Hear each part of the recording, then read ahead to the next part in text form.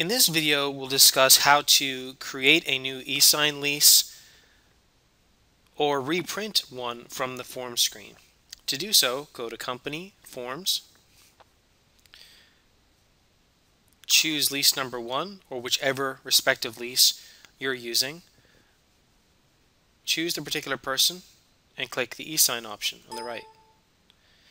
This particular tenant, in this example, has had an e-sign document created. So we have the option to open the existing document.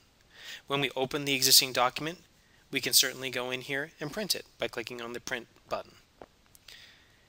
If it is a person that has previously moved in prior to the e-sign integration and you would like them to have a e-sign document, create a new document, we simply choose that person from the list, again have lease number one chosen, and click the e-sign option on the right hand side, now it will tell us that this person does not have an e-sign. Would we like to create one?